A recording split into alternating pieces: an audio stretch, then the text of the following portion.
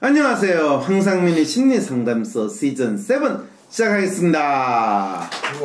우, 예. 아, 오늘은 시사 심리 시간입니다. 어, 그 주에 일어났던 다양한 시사 이슈를 가지고 이래저래 뭐 저가 아니라 차분한 목소리를 가진 우리 이웃집 변호사 지변을 모시고 우리가 시사에 대한 좀 더 심도 있는 법적인 심도 있는 법적인 분석하면 되게 심도가 있지만요. 이 알고 보면요. 법적인 분석은요. 코에 걸면 코걸이, 귀에 걸면 귀걸이의 분석이고 또 유전, 무죄, 무전, 유죄의 분석이 어떤 심리에서 이루어지는가를 우리는 알 수 있는 훌륭한 놀라운 경악스러운 기회가 될 거를 여러분은 기대하시면 됩니다. 때때로 제가 너무 경기 반응을 많이 나타낼 수 있기 때문에 저를 진정시키기 위해서 또 지변이 아닌 또 다른 분도 한 분 나오시는데 그분은 누구시죠? 예, 이웃집 음, 나이 많은 아저씨입니다. 네, 어이, 요즘에는 이제 또 본인이 한때는 아이돌이라 그러다가 이제 나이 많은 아저씨로 무게감을 좀 더 두시겠다는 거죠. 예, 이게 철, 철없다는 이야기를 많이 들어가지고 아, 특히 시사 심리를 분석을 할 때, 아, 상당히 현실감이 떨어진다. 뭐 이런 또 멘트를 얻으셨군요. 네. 네. 그럼에도 불구하고 우리는 뭐, 지변, 오늘 어떤 시사 이슈를 가지고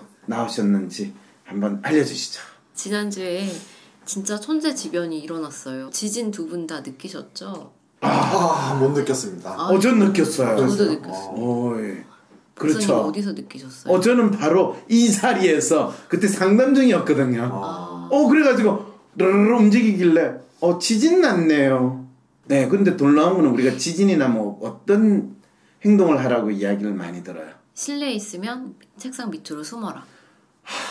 저는 그 이야기를 들을 때마다 저 인간들이 진짜 지진이 일어날 때 저걸 대처 방안이라고 알려주고 있는지 저 대처 방안은 언제 어디에서 나왔는지 혹시 알고나 저런 소리를 할까라는 그 의문이 항상 들거든요. 그 대처 방안은 어디서 나왔겠어요? 그 일본의 방제책자에도 그렇죠. 네 그런 그러니까 내용이 뭐 그랬을 때 왜 일본 사람들은 지진이 나면 의자 밑으로 숨으라는 이야기를 할까요? 건물이 무너질 수도 있으니까 왜 일본은 건물이 무너진다는 생각을 할까요? 강도가 강한 지진이기 때문인가요? 그것도 있지만요. 진짜? 일본은 집이 나무로 만들어졌다. 그러니까 이전에 지진 대책은 다 나무로 만들어졌고요. 나무로 만들어졌으면 위에 기둥, 목재가 떨어져요. 음. 그러면 이 탁자 밑으로 하면 목재가 목재가 부딪히니까 떨어지는 강도가 그 정도 되니까 괜찮아요. 음, 그런데 지금 콘크리트에서 무너지면요. 깔려 죽죠. 다 어떤 상황인지 알겠죠? 산풍처럼. 그렇죠. 그럴 때 이 탁자 밑으로 숨으라는 거는 지금 이게 언제적 만들어진지 그리고 어떤 건물에서 어떤 상황인지 감안을 하고 좀 한 번이라도 생각을 하고 뺏기더라도 좀 뺏겨야 되는데 그러게요. 행안부 그 지침에도 그렇게 나와 있더라고요. 그럼요. 내가 그래서 이 행안부나 방재청 운운하는 이 동네에서 어떤 사건이 벌어졌을 때 지금 우리의 생활 상태에서 우리의 환경에서 그걸 어떻게 해야 되는지 좀 알고나 지금 공무원들이 그냥 전문가라고 하는 교수들이 다 뺏긴 거를 그대로 받아가지고 집단의 대책이고 메뉴라고 만드는 이 나라 참 걱정된다 이 생각이 드는 거예요. 아 그러네요. 걱정됩니다. 음. 어, 어쨌든 규모 5.4의 지진에 이어 여진이 50여 차례 이어지고 있는 경북 포항에서 인명 재산 피해 규모가 시간이 지날수록 늘고 있습니다. 지금도 여진이 멈추지 않았다고 하고요. 그래서 지금 인명 피해가 총 72명, 2명이 중상이고 나머지는 네. 병상입니다. 그리고 1,361명이 체육관 등에 대피해 있고요. 일단 재산 피해는 1,540건인데 오늘은 어, 내 삶을 책임지는 국가라는 목표 하의 국정과제 55번 안전사고 예방 및 재난안전관리의 국가 책임체제 구축 56번 통합적 재난관리 체계 구축 및 현장 즉시 대응 역량 강화에 대해 어, 이야기를 같이 해보고자 어, 지진에 대한 이슈를 가지고 왔습니다. 어, 그러면 이게 지금 문재인 정부가 지금 제대로 못하기 때문에 하늘이 놓아셔서 내린 천벌이라는 지금 그 이야기를 하면서 이게 국정 과제에 지금 오신 몇 번, 예, 그걸 제대로 못한다. 지금 이 이야기를 하시려고 아닙니다. 건가요? 아닙니다. 그게 아니고 뭐예요? 지금 이 지진이라는 시사 이슈가 발생을 했는데 네. 그거를 이제 이런 사고를 계기로 앞으로 이런 사고가 일어났을 때 더 큰 피해가 없도록 얼마나 이제 잘 달성하실지 일단 수능 연기 어, 잘하신 것 같은데 박사님 어떻게 보세요? 수능 연기를 잘했다고 그러는데 내가 못했다고 그러면 난 나쁜 사람 되지. 아 근데 그럴 수는 없지. 어, 근데 반대 의견도 있어요. 어떤 반대 의견이 있어요? 조선일보는요. 아, 조선일보는 항상 반대하잖아요. 걔네들이 언제부터 빨갱이 신문이 됐지? 반대만 하게? 어, 네. 내가 버린 참고서는 어디에? 수능 연기가 빚어낸 해프닝이라는 제목의 기사로 일주일 후에 자연재해가 다시 일어나지 않으리라는 법도 없는데 오예요. 네. 저주의 구판을 벌리고 있네 조선일보가 요즘. 현장만 혼란스럽게 한 잘못된 결정이라는 이대영 서울 무학여고 교장의 발언을 인용하며 교육부를 비난했습니다. 아무튼 근데 대부분의 사람들은 아주 잘한 결정이었다, 적절한 결정이었다 이런 평가가 많은 것 같아요. 그러면 그 말은 지금 안전사고 예방 및 재난 안전 관리의 국가 책임 체제를 구축한 하나의 사례로 지금 언급을 하시는군요. 어 그러니까 지금 보면요. 어 그러니까 좀 아이러니한 게 지금 대표적인 대피 시설이 학교잖아요. 네. 그런데 가장 피해가 컸던 곳이 또 학교였거든요. 이번 지진 때 그 말은 무슨 이야기죠? 학교를 제대로 안 지었다는 의미가 아닐까요? 그렇죠. 네. 그런데 제대로 지어지지 않는 학교를 대피 시설로 지정했다라는 거는 지금 안전 사고 예방 및 재난 안전 관리가 지금 잘 되고 있다는 이야기예요. 잘 안 되고 있다는 이야기예요. 음, 기존의 매뉴얼이 잘 안 되고 있긴 하는데 네. 그래서 이런 학교에서 아, 지진이 일어남으로써 기존의 매뉴얼과 기존에 만든 대피소가 얼마나 뻥이었고 거짓말이었고 이 행정하는 공무원들이 본인 임의대로 만드는가를 확인하는 기회를 하늘이 이 문재인 정부가 적폐를 청산하기 위한 기회를 주신 거군요. 아, 그렇게까지 말하면 좀 그렇지만 이번 기회를 통해서 더 좋은 우리나라가 되지 않을까요? 뭐예요 지금 그래서? 저는 무슨 말인지 잘 네. 모르겠네요.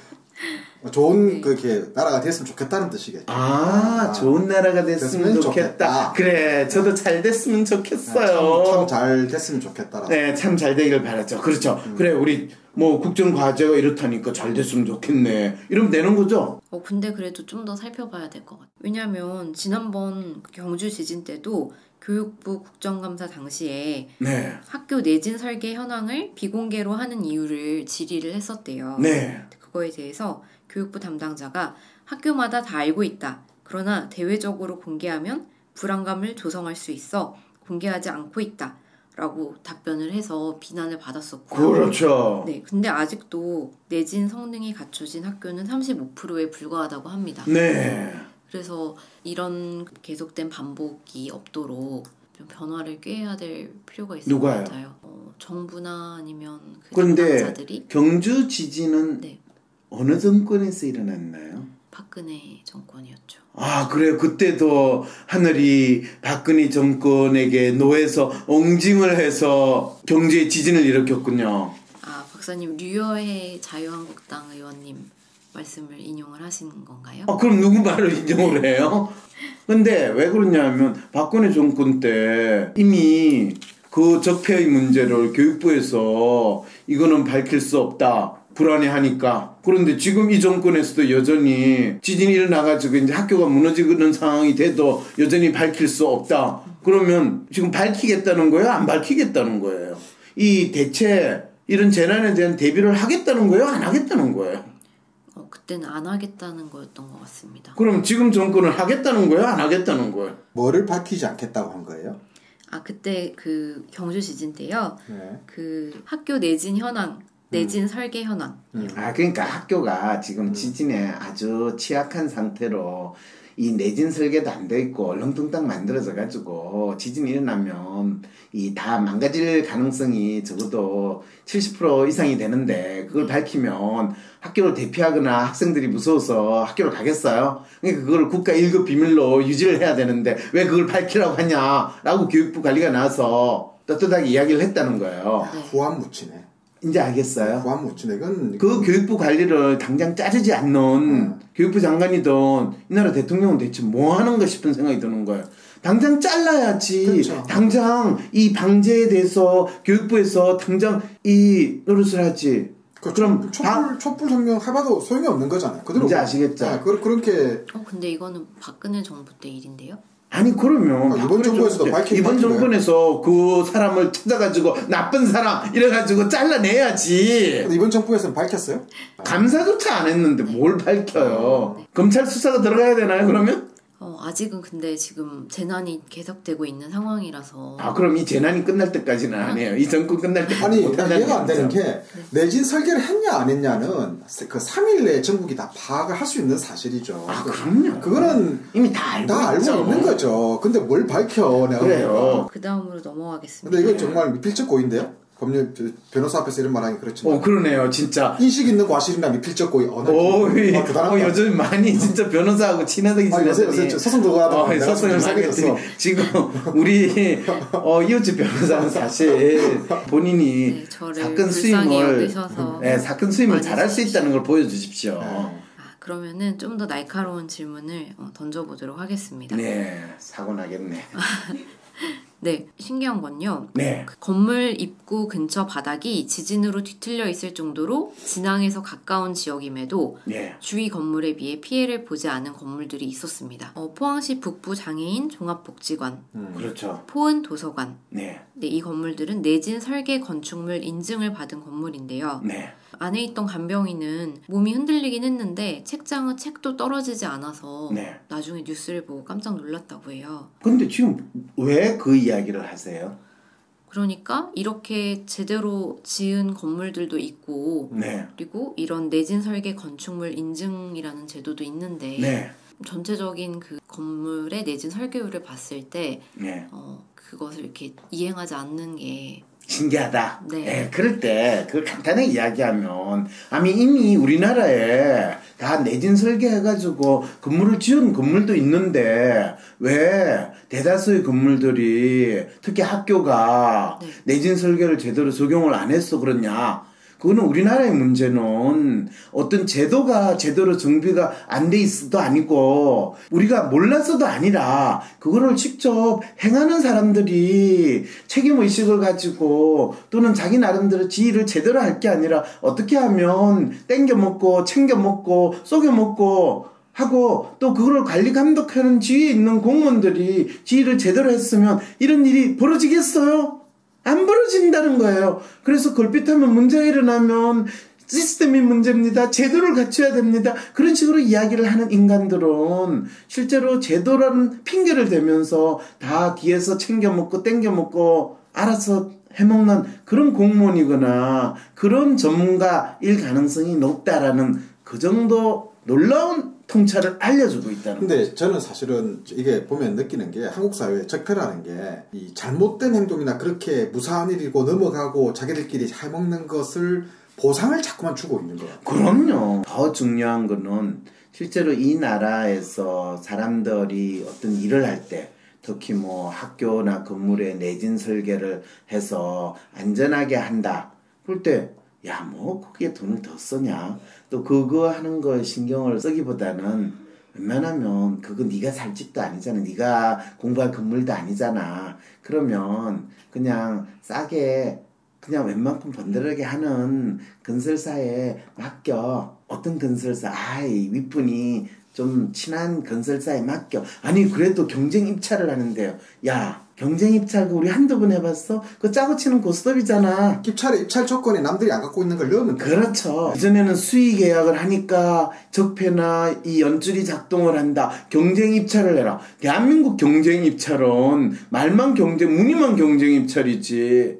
이게 실제로 그 일을 하는 사람이 자기 일을 제대로 하겠다 라는 마음을 가지지 않는 상황에서는 어떤 제도를 만들어도 다 귀신같이 도망가고 피해가고 또 속여먹는 그렇죠. 재주를 가진 뛰어난 우리는 지능을 가진 그러니까 뭐 그게 객관성을 위해서 이제 교수를 많이 데려오는데 교수를 어떤 교수를 가지고 오느냐가 또 중요한데 그리고 교수야말로 또 전문가라고 이 나라에서 하는 사람이야말로 이 본인들이 기득권을 유지하고 사기치거나 속여먹기에 가장 좋고 또 매수하기에 가장 좋은 사람들이 교수나 전문가예요 이 나라에서는 왜 자기들끼리 동업 의식이 아주 철저하기 때문에 그래서 그런 현상에 대한 이해를 하지 않은 상태로 어떤 거는 잘 되는데 왜 이런 문제가 발생했습니까? 이런 질문은 100년 해봤자 소용이 없는 거예요. 그런데 그게 사실 우리 모두의 그 문제잖아요. 재난이 발생하게 되면 너나 할 것 없이 nobody's 다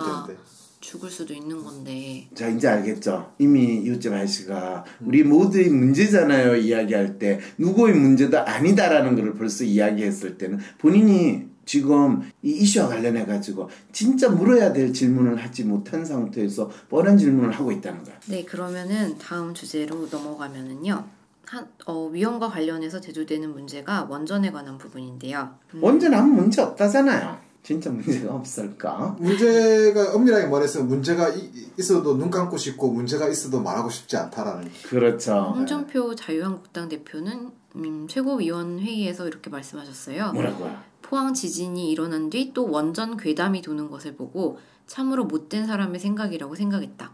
좌파들이 퍼뜨린 광우병 괴담. 참 어이없는 그런 괴담에 국민들이 현혹되는 사례가 있는데 앞으로는 없을 것 이렇게 발언하셨습니다. 이분은 확실히 딴 세상 사시는 분 맞네요.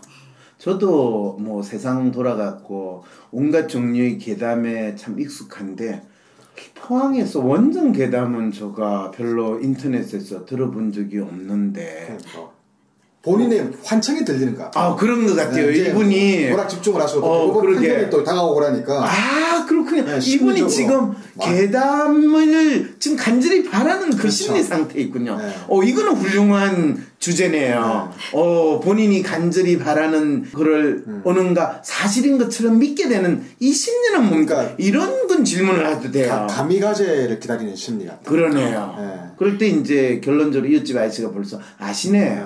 어, 이 홍 대표하고 친하신가 봐요. 아니요. 어, 그분이 지금 큰 판결을 기대하고 있는 상황이라는 거. 아, 저도 판결을 기대하고 있기 때문에 아, 그렇군요. 민감해요 지금 아, 저도 판결을 기대하는데. 모두 다 지금 민감해요. 어, 그렇군요. 우리가 민감. 우리 마음을 안다는 거죠 아, 그렇군요. 우리가 이게 참 공유하는 게 이랬어 이게. 내가 홍준표 이해할 거를 꿈에도 생각 못 했어 아, 그러네요. 예. 이심전심이네요. 그렇죠. 네, 그 다음으로 넘어가면 경북도와 포항시는 네. 어, 전문의와 심리상담소 등으로 재난 심리 지원 세개 팀을 구성해서 대피소 현장에서 심리 상담에 나섰습니다. 전 참 저 부분에 대해서 뭐 저런 재난이 일어났을 때 심리 상담이 필요하다라는 거는 인정은 하는데 진짜 저렇게 경북에서 포항에서 이 전문의를 동원해서 심리 상담을 한다고 그러면 헛웃음이 나올 수밖에 없어요. 뭐 신경 안정제나 우울증 약은 배포를 하실지는 모르겠는데 과연 그 비싼 의사분들이 상담을 직접 할까? 라는 의구심도 생기고 의사의 이름을 쓴 사이비 의사 노릇을 하거나 사이비 상담 노릇을 하시는 분들의 알바 기회를 만들어주는 것은 아닐까? 그 저는 약간 다르게 생각하는데 아, 그래요? 제가 대학원 다닐 때 공학론을 공부하신 분이 강의를 한 번 했는데 그렇죠. 근데 재미는 지금도 기억이 나는 게 네. 우리가 몇 번 경제 위기를 겪으면서 아, 위기를 닥쳐서 돈이 없고 사람들이 줄을 쫙 서 있으면은 예. 정부가 트럭에다가 돈을 실어서 왔다 갔다 해야 된대요 네, 미국에서도 그랬어요. 예, 그래가지고 심리적으로 안정을 시켜야 된다 아, 그런 게 쇼와 같은 일을 하는 것이 필요하다. 나가지고- 돈은 널려 있다. 그러니까 걸 음. 보여주는데 제 생각에 가운 입은 사람이 필요한 것 같아요 아 가운 입은 사람이 왔다 왔다 갔다만 갔다 해도 아 우리가 돌봄을 받고 있구나. 난 죽지 않겠구나 이런 거예요 아, 그 훌륭한, 그거 진짜 훌륭한 지적이에요. 아, 저도 충격을 받았어요 뭔가 노력을 하는 그런 쇼를 보여주는 것이 쇼가 필요할 때는 쇼 마스콘 근데 그런 것도 필요하다 이거죠. 물에 빠져서 사람한테 너 죽는다면 진짜 죽으니까 그런 측면에서 비슷한 일이 음. 이 사우디에서 폭동이 일어난 적이 있었어요. 네. 그 사우디에서 메르스가 이 막 일어났을 때 사람들이 의사가 와가지고 치료를 이 해주고 주사를 놨는다 할 때 어떤 의사 흰옷 입은 사람들이 와가지고 이제 하다가 이쪽 동네가 아니라 저쪽 동네를 가는데 쟤네들이 부자 동네를 간다 부자들을 위해서 나 이런 소리가 있으니까 막 거기에 있던 많은 사람들이 막 거기 의료진이 든 그쪽에 있는 경찰서를 습격하고 난리를 쳤다 서 폭동이 일어났다는 그 뉴스가 있었는데 그때 내가 아는 사우디 친구가 그 이야기를 하더라고요. 어. 그때 사실은 그 옷 입은 사람들이 의료진도 아니었고 그랬는데 괜히 헛소문에 그렇게 됐는데 그럴 때 진짜 잘 알았으면 흰 옷 입은 사람들이 좀 많이 돌아다녔으면 차라리 언제 주사를 맞을 수 있고 약을 얻을 수 있다라는 심리적 안정감을 가질 수 있었는데 그렇지 않은 상태 뭐 도움을 바랐는데 흰옷 입은 사람 주사기 들고 사는 사람이 아무도 없으니까 내 차례가 안 올지도 모른다. 나는 죽을지도 몰라. 우리 어머님이 돌아가실 수도 있어. 뭐 이래가지고 폭동을 일으켰다는데. 아 그런 측면이라면 말이 되네요. 그러면은 그 다음 질문으로 넘어가면요. 어느 전문가와의 인터뷰를 봤는데요. 네. 앵커가 마지막으로 앞으로 우리가 가장 준비해야 될 것은 무엇이냐고 물으니 지진이 연이어난 경상도 지역의 단층 조사가 잘 되도록 예산 지원이 원활하게 이루어져야 하고 그리고 많은 지진 전문가가 양성되었으면 한다 라고 답변했습니다. 네, 하나만, 역시. 역시 이 기회를 틈타 가지고 업계 영업권을 좀 더 확장시키고 건수를 높이겠다는 놀라운 비즈니스 정신을 그 전문가분이 발휘하셨다라는 것을 우리는 배울 수 있게 되는 거죠. 그래서 찬스에 강해야지 비즈니스를 잘한다. 그거는 교수나 전문가도 애가 아니다라는 걸 알려주게 된 거죠. 그 옛날 말에 물 들어올 때 배져야죠. 그렇죠. 그런데 그 일반 시민의 입장에서는 지진의 원인 분석이나 예보가 현실적으로 어렵다고 하는 만큼 이 답변이 별로 와닿지가 않았는데요. 그렇죠. 역시, 네, 역시. 어, 대한민국의 일반 시민의 일반 수준은. 전문가들보다 더 어, 뛰어나다는 걸 이렇게 알려주는 거죠. 네. 그리고 지진 뉴스, 지진 관련 뉴스에서는 항상 어려운 전문 용어로 원인을 분석하고 그 결과로 뭐 액상화 현상이니 뭐니 뭐 이런 얘기 하는데 음, 왜 자꾸 이런 내용이 뉴스에 나오는 거죠? 그분들도 먹고 살아야죠. 음, 근데 뉴스에서 오히려 우리가 궁금해하는 것을 말해준다면 더 시청률도 오르지 않을까요? 그게 참 중요한 질문이에요. 어, 뉴스에서는 대중들이 궁금해하고 갈급해주는 뉴스를 제공하면 시청률이 오를 것이다. 시청률과 관계없이 뉴스는 본인들의 비즈니스를 위해서 존재하는 부분도 있다라는 걸 고려해야 되죠. 이 언론사들이 우리는 시청률에 목을 메고 시청률을 그거 합니다. 라고 이야기하지만 그 시청률은 또 본인들의 비즈니스하고 연관이 있기 때문에 그래서 본인들이 비즈니스에만 너무 목을 매달면 좀 천박하게 보이잖아요. 그래서 그런 특히 뭐 보도를 하나 안 하나 별 차이가 없는 이런 재난 보도에서는 특히 일반들이 알기 어렵고 이것이 불가항력적이었다라는 그리고 들어도 무슨 말인지 모르게 하는 이야기를 하면 할수록 사람들은 자기가 부닥치고 있는 재난이 어쩔 수 없구나 라고 인내하는 마음으로 지켜보는데 잘 이해가 되는 이야기를 들으면 그래서 내가 지금 이런 사고를 당했다는가? 내가 이런 고통을 겪어야 된다는가? 너 책임져! 이렇게 되는 결과가 벌어진다는 거죠. 본인들이 상당히 있어 보이는 존재이고 본인들은 뭔가 너희들이 잘 모르는 걸 되게 중요하고 뭔가 대단한 걸 하고 있다는 이미지도 끊임없이 전달해야 되는 것이 바로 대한민국의 언론사라는. 놀라운 상황이라는 걸 아시겠죠? 뉴스를 위한 뉴스네요. 어유 오랜만에 훌륭한 표현을 쓰셨네요. 그러면은 어, 박사님은 그 마지막 앵커가 물었던 질문 지금 이제 지진에 어, 안전하지 않은 우리나라가 가장 준비해야 할 것이 무엇인지 어, 생각을 좀 말씀해 주세요. 국민의 입장에서 정부에게 무엇을 요청해야 됩니까? 그렇게 질문을 하면 하, 저는 지진 때문에 내가 사고를 당해서 죽을 가능성보다는 그 전에 지진으로 죽기 전에 죽을 일들이 수십 수백 개가 이미 앞에 리스트가 있거든요.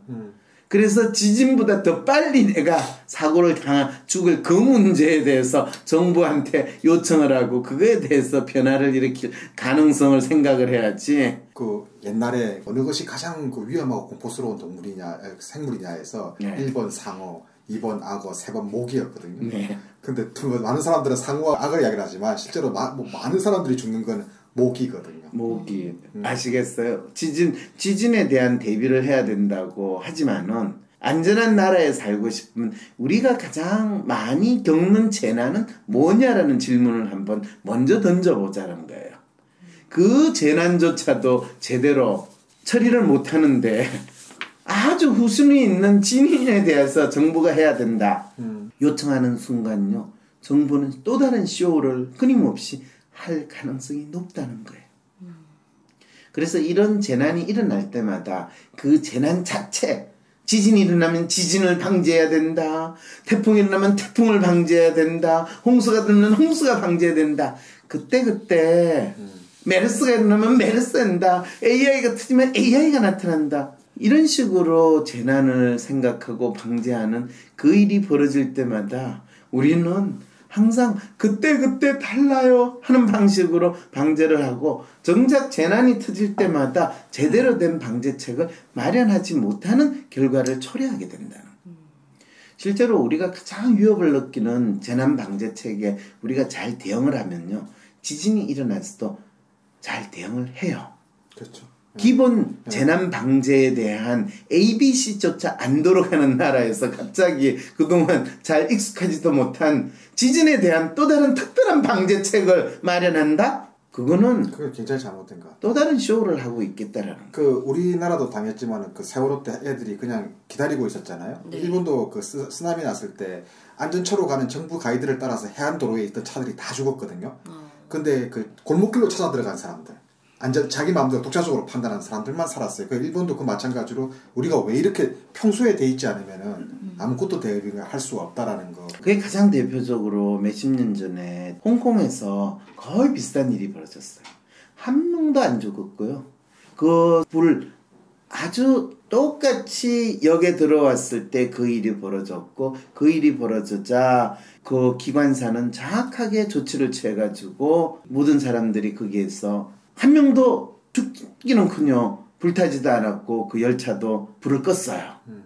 자, 그랬을 때 다른 비슷한 재난이 일어날 때도 사람들이 현장에서 적극적으로 어떻게 대처해야 될 건가?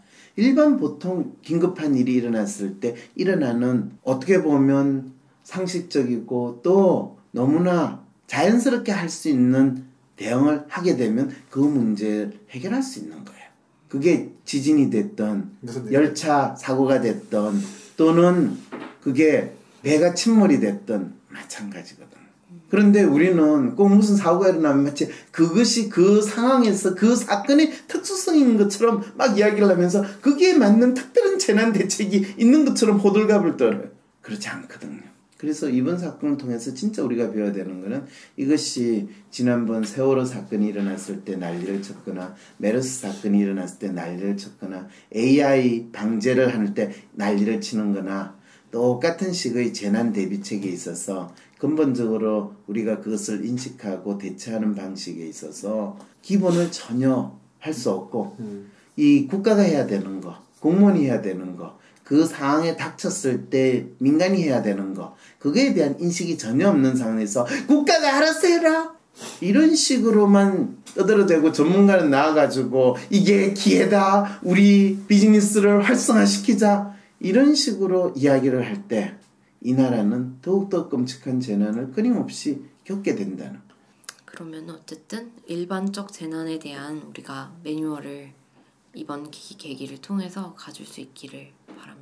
일반적 재난이든 재난에 대해서 우리가 뻔히 하고 있는 대비책이 얼마나 허술한가에 대해서 다시 이번 이 포항 지진을 계기로 다시 한번 살펴보면서 가장 일상적인 생활에서 재난을 잘 대비하는 기본적인 원리를 국민들이 잘 인식하고 섭득할 수가 있게 된다면 재난은 언제 어디서 어떤 모습으로 우리에게 다가올지를 몰라요. 그렇기 때문에 그 재난 또는 어떤 재난 위험 신호가 있을 때 거의 생존 본능을 발휘해 가지고 적극적으로 대응할 수 있는 태세를 갖추기만 한다면 어떤 재난이 오더라도 우리는 잘 막을 수 있고 또 그 재난에 대해서 적절하게 대응책을 스스로 강구할 수 있지. 국가가 구품이 오길 그 순간까지는 우리는 기다린다. 그런 황당한 일을 우리는 스스로 자처하지 않을 수 있다는 거죠. 예, 류어의 그 자유한국당 최고위원이요. 이 사건, 그러니까 지진에 관련해서도 발언을 하셨었는데 또 연이어서 음, 페이스북에 글을 올리신 게 있어서 무슨 글을 올렸었어요? 그분은 대체 이, 이 기사가 궁금해서 한번 찾아봤습니다. 네. 음, 페이스북을 통해 거짓말, 가짜 뉴스, 감동적 미담이 아니라 포복한 대대장 미담 사례는 제발 조작하지 말자. 책임은 누가 질 것인가? 진실을 알고 싶다. 이런 알 수 없는 음, 글을 올리셨어요. 어이, 그거는 오랜만에 그분이 뭔가 의미 있는 지적을 했네요. 아, 그래요? 그래서 이 관련된 기사를 찾아봤는데요. 네.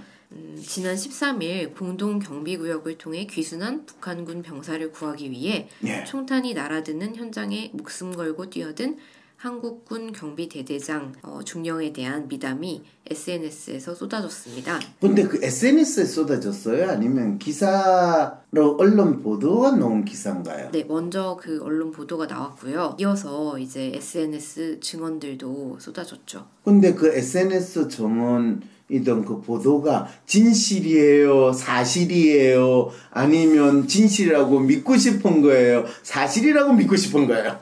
아직 사실이 확인이 제대로 되지 않은 게요. 네. 네, 이 부분에 대해서 YTN이 네. 그 북한군 귀순 장면이 담긴 판문점 열상 감시 장비 영상에 대대장이 없었다고 설명을 했어요. 음. 그래서 어, 대대장이 귀순자에게 포복으로 접근하지 않았을 가능성을 제기했고요. 아 대대장이 혹시 투명 망토를 입고 이 눈에 보이지 않게 포복해서 갔을 가능성은 없나요? 그럴 가능성은 없 는 것 같고요. 아 그래요? 네, 어, 국방부는 논란이 커지자 20일 브리핑을 통해 JSA 대대장이 북한군 귀순병사 구출 현장에 있었던 것은 맞다. 현장에는 있었어요. 그렇죠. 현장에는 있었어요. 현장도 상당히 넓거든요. 어디 식당에서 차 마시고 계셨던 거예요? 아니 대체 어떤 그 현장이 어딘 거예요? 근데 사실 이렇게 그 국방부가 자세히 그렇죠. 자세히 이렇게 설명하지는 않았어요. 그게 저는 진짜 재밌다는 거예요. 어, 국방부 관계자가 한 말을 좀 더 보면요. 네. 음, 북한군 병사가 귀순할 당시 대대장이 구출에 참여한 것도 맞고 그렇죠. 마지막 가까운 거리를 포복으로 기어가 끌어낼 때만 함께하지 않았을 뿐이라며 현재 일어나고 있는 논란이 특정 부분만을 지나치게 확대해 풀이하면서 전체적인 사실이 제대로 전달되지 않고 있는 것 같다고 하소연했습니다. 근데 사실은 그 부분이 좀 문제가 있는 게요. 기사에서는 총탄이 쏟아지고 위험한 상황이니까 부하가 나서가지고 이 포복해가지고 가서 구출하는 거를 자기가 하겠다고 해서 그래서 북한 병사를 가서 대대장이 끌고 왔다. 라고 기사에 있어서 이 부하를 아끼고 사랑하는 대대장의 헌신적인 놀라운 뭐 리더십 지도력을 봐라 막 이런 투로 난 기사를 처음 봐서 저는 되게 놀랐었어요 솔직히 나도 놀랬어요 네. 그렇지만은 이상한 게 대변인이 발표한 자료를 정확히 보면요 군 간부 3명이 거기에 현장에 있었다라고 표현을 해요 네. 그리고 거기에서 포복해가지고 끌고 왔던 사람은 이 두 명의 하사 네. 소위 말해서 부사관 부사관이 그걸 했다는 거예요. 네. 그게 우리가 병사하면 보통 1병, 2병, 3병 뭐 이런 거 이야기하는 병사 JS에는 보통 부사관들이 근무를 주로 특수부대들은 다 부사관 그렇죠. 부사관들이 있죠. 예. 왜냐하면 복무 기간이 길어야지 투자 그렇죠, 그렇죠. 예. 그런데 부사관이 갔다는 건 병사가 갔다는 거 맞을 수도 있는데 그런데 그거를 국방부에서는 또 발표를 할 때는 간부라고 표현을 해요. 예. 그리고 그 간부의 부사관과 대대장을 묶어 가지고 간부라고 1대1 묶음 판매. 야 이거는 국방부도 참 다급하긴 다급하고 본인들이 영웅 만들기 조작을 했는데 안타깝게도 이 영상 촬영 자료가 있어 빼도 박도 못하는 그런 상황이 되니까 이렇게 언제부터 부사관이 대대장과 같이 묶음으로 가는 간부로 군에서 이렇게 그런데 기사에서는 또 국방부에서 홍보를 한 기사에서는 마치 대대장이 포복해가지고 끌고 온 것처럼 이야기를 해놓고 지금은 이제 그 비디오 그거를 보지 말고 전체 상황을 봐주기 바란. 그 이제 보는 네. 사람이 이제 어. 보는 사람들이 보면은 충분히 이해되고 군대 갔다거나 일반적인 사람들의 상식으로도 이해가 될 정도로 말을 하면 되는데. 그렇게. 왜 그 높으신 대대장이 가고 그게 왜 현명할지도 잘 모르겠고. 그리고 왜 국방부 대변인이 그런 말도 안 되는 브리핑을 또 뻔뻔하게 해요. 안 그래도 군에 대해서 국민들이 참 이 믿음이 떨어져 가지고 전전긍긍하고 불안하게 떠는데 그리고 그 대대장 영웅 안 만들어도 얼마든지 충분히, 충분히 잘했어요. 아, 뭐. 그런데 왜 오버해가지고 잘했다라고 하면 되는데 거기다가 이상한 걸 칠하면서 더 이상하게 돼버리고 그렇죠. 그리고 진짜 찌질한 모습을 더 드러내는 음. 이 악효과, 역효과가 나타나는 거 제발 좀 그거 안 하면 안 돼요? 근데 왜 국방부는 이렇게 오버 액션을 한 걸까요? 예, 네, 평소에 자기들이 찌질한 게 찔리니까 그렇죠. 원래 군의 속성상. 그렇죠. 예, 네, 그래서 항상 군은 사실 폼으로 먹고 사는 데잖아요. 네. 특히 오랫동안 전투를 안 한 전투 경험이 없는 그리고 스스로 작전 지휘할 능력도 없는데 이제는 작전 지휘권까지 가져와야 되는 부담스러운. 이 부담스러운 상황에서 군이 뭔가 좀 힘 좀 얻어 보겠다고 또 평소에 잘하는 일을 해야 되는데 평소에 못하는 거를 또 꾸미다 보니까 일어난 일이거든요. 음. 안타깝죠. 그래서 언론도 좀 지적할 걸 제대로 지적하고 국방부 대변인도 그런 상황이 벌어졌을 때 일부 언론이 잘못된 보도를 해서 영웅적인 미담으로 우리 대대장과 그 근무 요원들을 격려한 것은 참 좋은 일이나 사실에 부합한 부분은 이러이러한 거하고 사실에 부합하지 않는 거는 이러이러한 부분이다. 라고 그냥 밝히면 되지. 그 언제쯤 바람이 다 빠질까 참 걱정돼. 그렇죠. 네. 이참 안타까워요. 네, 어, 오늘 안전사고 예방 및 재난안전관리 후 국가 책임 체제에 대해서 얘기해봤는데 정리를 해주실래요 마지막? 이제 표면적으로 나타나는 것을 네. 보려고 하지 말고 거기에 신청적인 기본적인 이 원인이 무엇인가, 작동 원리가 무엇인가에 대한 분명한 이해가 있을 때 제대로 된 대처법을 찾을 수 있다. 음. 그거는 군에서도 마찬가지다. 라는 것을 우리는 알게 되는 음. 그런 거죠. 좋은 마무리 감사합니다. 네. 오늘 나오신 분두분 수고 많으셨습니다. 헬조선에서의 심리 독립을 돕는 방송 황심소입니다. 황심소가 더욱 많은 사람들의 심리 독립을 도울 수 있도록 후원해 주세요. 방법은 아주 간단합니다. 네이버에서 황심소 골뱅이를 검색해 주세요. 황심소 홈페이지 후원하기 메뉴에서 바로 신청 가능하십니다. 여러분, 팟빵 말고 황심소 홈페이지에서 꼭 후원해 주세요. 홈페이지 주소는 황심소.모두.at입니다. 안정적인 직장 번듯한 집과 차 부자가 되면 행복할 수 있을까 만약 대통령이 바뀐다면 그분이 날 구원해 줄 수 있을까 힐링도 위로도 이젠 지친다고 하네 다들 문제 렁뚱한 데서 차네. 이거 다 거짓말인 걸 아시죠? 저는 속았습니다. 이제 속지 말고 황심수들을 차례. 너와 날 제대로 알고 싶다면 남탓 그만하고 홀로 서고 싶다면 새로운 변화를 만들어 가고 싶다면 후원하기 클릭. 황상민의 심리상담소